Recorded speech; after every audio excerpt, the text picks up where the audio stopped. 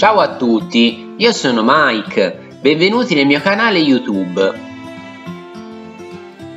L'argomento di oggi è come risponde il nostro corpo allo stress?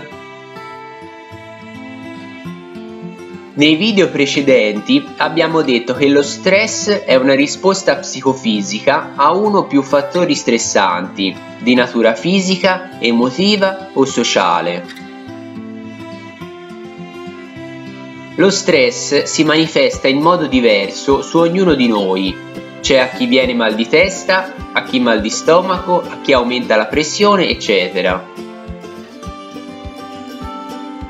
Hans Selye, un famoso medico austriaco, si è occupato di ricerche sullo stress e disse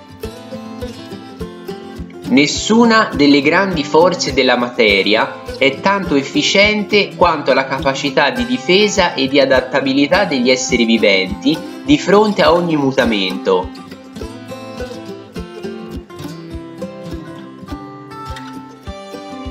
Infatti esiste uno schema generale composto da tre fasi di come il nostro corpo risponde allo stress.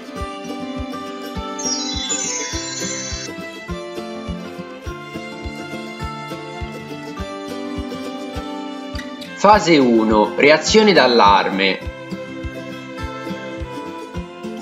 In questa fase il corpo percepisce la presenza di un fattore stressante e si prepara per combatterlo utilizzando tutte le energie disponibili. Questo fattore stressante può essere di varia natura, ossia fisico, trauma, variazione di temperatura, biologico, malattia, infezione, psicologico, litigio, pensieri negativi, lutto.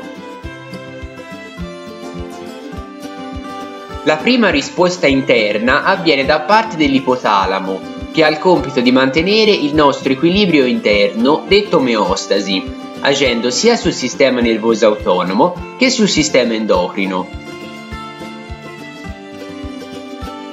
L'ipotalamo risponde in tre modi. 1. Produce il cortisolo, l'adrenalina e la noradrenalina. 2 produce degli antidolorifici naturali, ossia le beta-endorfine, in modo da innalzare la soglia del dolore. 3. Aumenta il battito cardiaco, la pressione sanguigna e il tono muscolare.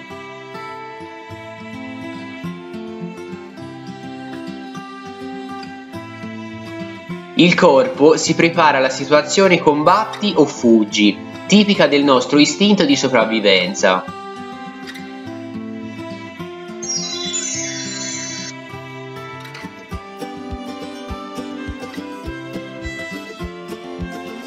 Fase 2. Resistenza.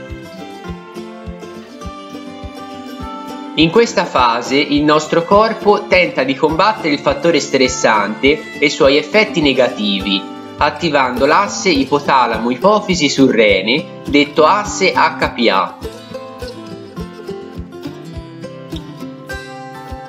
Si ha quindi un'iperproduzione del cortisolo, detto anche ormone dello stress, che causa però un indebolimento delle difese immunitarie fino ad annientarle del tutto.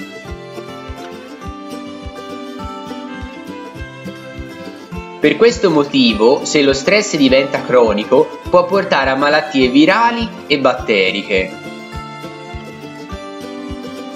Fase 3. Esaurimento o recupero. Questa è la fase conclusiva dello stress che comincia quando l'organismo si rende conto che è finita la fase di pericolo o quando sta per finire le energie. Si parla di esaurimento se l'organismo non è riuscito a combattere il fattore stressante. Il soggetto ne risentirà quindi a livello fisico e psichico. Si parla di recupero se il corpo è riuscito a sconfiggere l'elemento di stress. Se la fase di resistenza è durata troppo e la fase di esaurimento è dovuta alla fine delle energie disponibili, il periodo di recupero successivo sarà molto lungo e forse anche depressivo. Infatti, le persone che sono stress dipendenti vivono fasi di resistenza lunghissime. Per poter passare alla fase di esaurimento, quindi, lo fanno artificialmente utilizzando l'alcol, le sigarette e sedativi, al fine di rilassare il corpo. Se vi è piaciuto il video, vi chiedo gentilmente di lasciare un like e di iscrivervi al mio canale per rimanere sempre aggiornati.